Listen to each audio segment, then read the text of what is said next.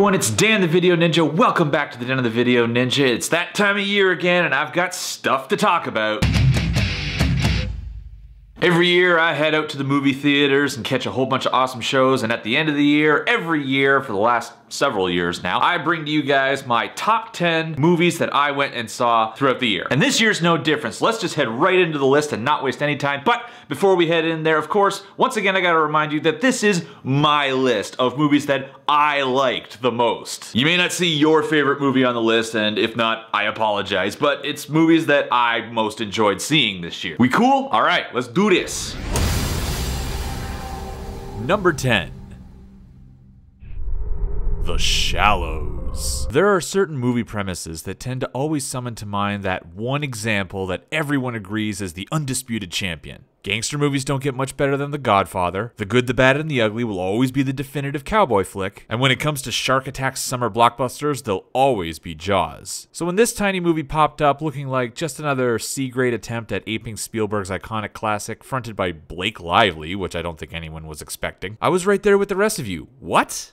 Really? But there's a lot to be said about a movie with confidence, and The Shallows has more than enough to spare. This movie simplified itself down to a few core ingredients and then spent the whole runtime polishing them up and cutting them loose. The simple premise, the single setting, the easy to digest dynamic between a girl and a killer predator, it all clicked with an identity of its own and a lot of raw, entertaining power. Sometimes less is more, and this fun little shark thriller had both the guts and the talent to pull that off.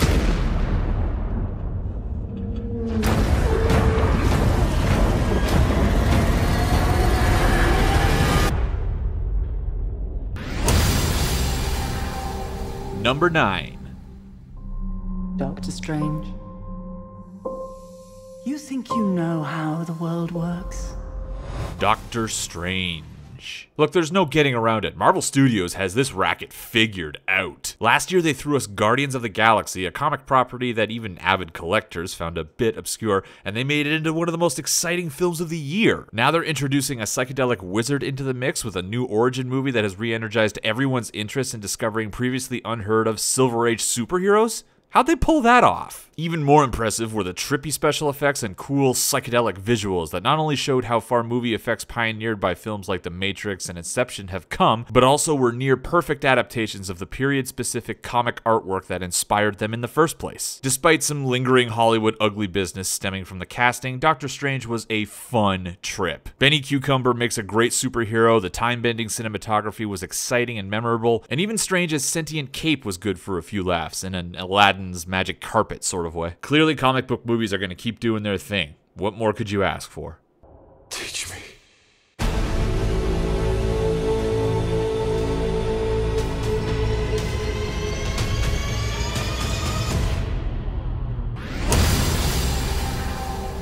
Number 8. The pipes, the pipes are coming. Oh, Jesus, me eyes! Oh, gummy skin! Just peeling me skin! Sausage Party. Look, if it's not your thing, it's not your thing. You probably made up your mind about Seth Rogen and company's raunchy stoner animated film as soon as you saw the trailer, and I'll be honest, I figured it'd be a pretty insubstantial waste of time too, but damn it, I found myself laughing regardless. Sometimes it's fun to misbehave, and it felt good to shed some of the overbearing PC hangups so many comedies try to skirt their way around and instead just wallow in some old fashioned, early years of South Park style puerile humor. And wouldn't you know it, not only is there some genuinely funny shtick writing in this otherwise lowbrow comedy, but they even worked in a little bit of insightful thematic storytelling centered around faith and religion. Of course, you'd never really know it from all the language and stereotype jokes in the advertising. Still, if you've got the stomach for this kind of humor, Sausage Party was likely one of the funnier outings you could have had this year. Sorry, I accidentally dropped a few things back there. Hey! I'm gonna fix you. I'm gonna fix this.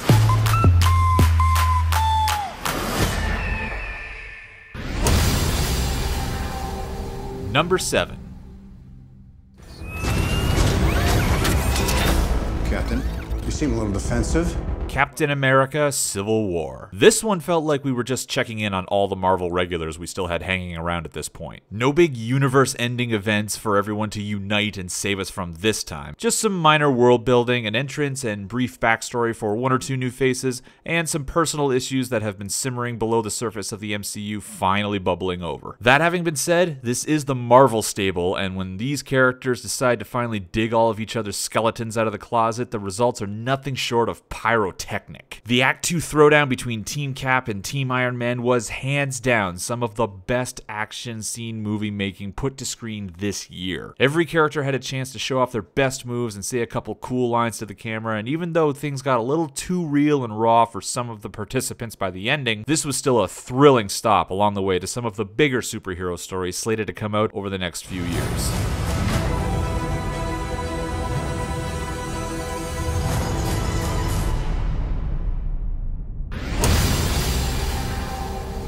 Number 6. My name is Erin Gilbert, Doctor of Particle Physics at Ghostbusters. Love it or hate it, nobody can deny that this was easily one of the most talked about productions of the year. Granted, Sony's advertising campaign may not have done the film any favors, and once again, I'll admit up front that I was pretty much resigned to join the naysayers leading up to release day, but I gave it a chance and ended up having a lot of fun watching this new crop of busters find themselves in this rebooted universe. I wasn't expecting to, but damn was I ever pleasantly surprised I did. There's a lot that doesn't work in this movie, to be sure. The third act is weak, and the villain, while accurately realized, was a bit of a snore, but I refuse to let any of those concerns spoil the good time and big laughs the film and its leading ladies were delivering. Holtzmann and Patty were terrific breakout characters, seeing Chris Hemsworth enjoy himself as a complete buffoon was hysterical, and even the cheesy callbacks and cameos from the original were pretty funny. Haters can hate all they want. I think this was a fun movie, and I hope a whole new generation of kids embrace these new Ghostbusters as their newest childhood heroes. Going to take off. Don't piss off the ghost. Really?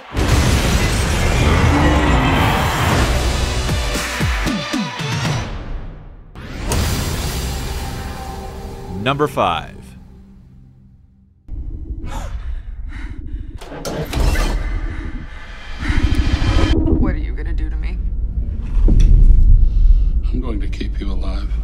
10 Cloverfield Lane. Now we're talking. This was one of those delightfully frustrating films that everyone had to fight tooth and nail to get their friends to go see simply because they couldn't say why it was so good. I'll always be interested in a good suspenseful mystery, and I'll always be completely overjoyed when said suspenseful mystery turns out to be actually really well made. And that's what this was. This was a well written, feature length Twilight Zone suspense piece with scary good acting from John Goodman as a creepy, neurotic tyrant, and a clever third act story turn. Simple as that. No big complications, everything clicked together perfectly, and the stellar performance from the cast seemed to be what really pulled such a simple story together. Does it invite callbacks to the 2008 disaster found footage film with a similar name? Sadly, yes, especially near the end, but divorced from that and taken on its own merits, this was an excellent nail biter that showcased some serious talent from the actors, director, and the rest of the film's makers. Believe what your friends have told you, this was solid 2016 filmmaking through and through.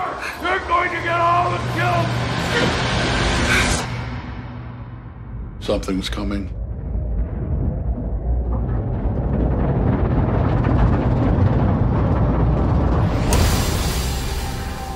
Number 4. It's time to follow my own path. My name is Kubo. Kubo and the Two Strings.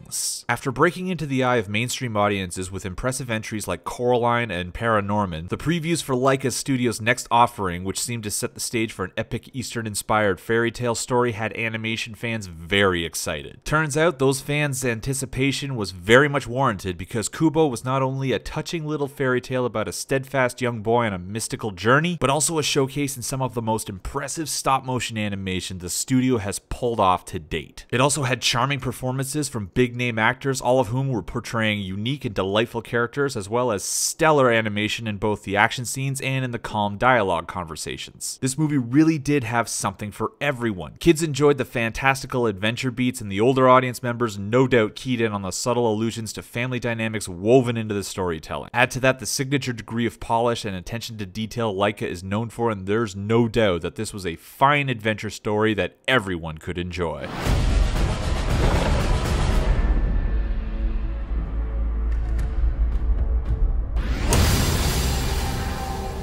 Number 3. Hey, yeah, I wanna shoot. Deadpool. Finally, a studio other than the Mouse House managed to give us a modern superhero movie that could actually sell tickets. And they just so happened to do so by shedding any previous disposition towards mishandling the source material and instead leaned all the way into the perverse R rated sensibilities of Marvel's foul mouthed walking cartoon character. Deadpool. Obviously, any film that tops the highest grossing R rated feature list more or less speaks for itself, in colorful, choice words and tones, no doubt. But what really stood out for me about this one was how enthusiastically lead actor Ryan Reynolds embraced the character both within the confines of the film itself and in the various promotions of it. Plus, it just felt really good to finally see the numerous superhero movies that have come to dominate the Hollywood release schedule get an appropriately unsanitary roasting for once. The blood and guts, gratuitous. The foul language, and groaner shtick humor plentiful. The love interest B story, actually pretty sweet and humane. If you care. But all in all, when it comes to the Merc with a Mouth, you're looking at a jolly romp through some bad kid action and humor from start to finish. Ugh. I'm touching myself tonight. X gon' give it to ya. He gon' give it to ya. X gon' give it to ya. He gon' give it to ya. Number two. Jolly good. Hardcore Henry. Hey, it's my list, and I'll put whatever I damn well want near the top of it, alright? This little experiment of a film was gimmicky and featured hammy performances by everyone involved, most notably Sharlto Copley's portrayal of every one dimensional NPC character from every video game ever. But hot damn, was it ever a fun ride for hyperactive action junkies like myself. I don't make that video game comparison lightly either. Everything in Hardcore Henry, from the plot, the dialogue, the characters, the locations, the so called cinematography, looks like it was ripped wholesale from the cutscenes of about a dozen different modern first person shooters. What sells it though is the commitment the filmmakers made to the premise and its own innate silliness. When it comes to audience reactions, there's no middle ground in Hardcore Henry. You'll either want nothing to do with it or you'll love every ridiculous, juicy piece of it. And as an avid gamer and frequenter of Sugar Rush action film trips, I loved the hell out of Hardcore Henry.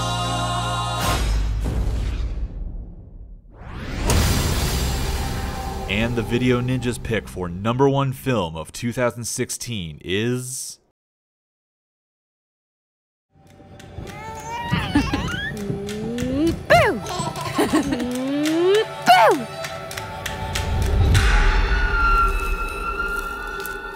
The Witch. Holy shit. Holy shit. The number one spot on my list will always go to the movie I can remember having the most genuine reaction to, and this year the unquestionable champion goes to this pitch dark horror film about an early Puritan family being harassed by a genuine black magic practicing, Satan worshipping witch in a nearby forest. It had been so long since I could remember being shaken to my very core by a story so disturbing and soaked in wonderfully horrifying atmosphere. The events and implications left by this film weighed on my mind for days after I saw it, and even after months had gone by and the finer details of the plot had been lost on me, that shook up sense of unnerved dread still crept over me whenever the topic of the movie came up in conversation. Forget jump scares, forget rehashed slasher gimmicks or clever spookhouse found footage projects. The Witch deals in actual lasting scares that propels it far beyond anything the horror genre has offered in years and stands rightfully triumphant as my favorite movie movie going experience of the year. Think on thy sins.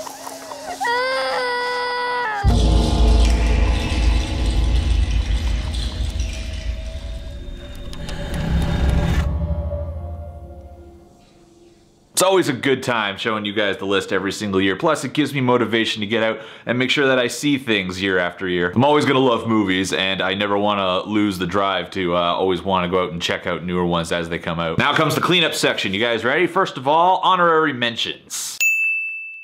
Didn't quite make the list, but they were good shows to see. As well, something new for after the list this year, I wanted to also mention a couple of titles that I saw this year, that came out this year, that were a little unconventional. Seriously, check these two out if you want to see something weird. Don't say I didn't warn you. Now, worst movie of the year. Hmm. So many to choose from, but you know what? I'm gonna go with this one because it was probably one of the only ones I saw. And finally, game of the year. it's actually pretty funny. I had this one locked in for months leading up to making this video, and then just last night, I fired up this game called Overcooked. It's this multiplayer kitchen party game or whatever. And the very first screen that showed up said this.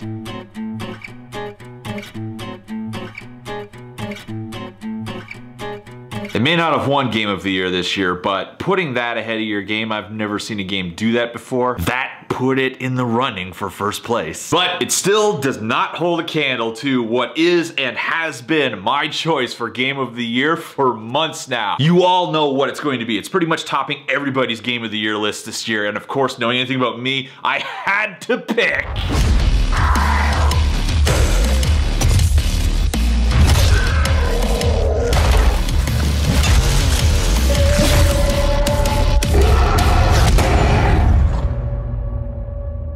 No question, hands down, best game of the year. Ah! Take care of yourselves, everyone. As always, I wish you well. I hope that you will enjoy what's left of your holiday season. And don't forget, Hulk Loom is still here, and he hopes that you will smash that like and subscribe button. And I hope to be seeing more of you guys in the new year, either on this channel, or on my gaming channel, or on my Twitch channel, or on all the different channels that are listed all below in the description. It's gonna be great. 2017 is gonna rock. I'm Dan the Video Ninja. I'll catch you guys on the flip side. Tatsu! Ninja vanish!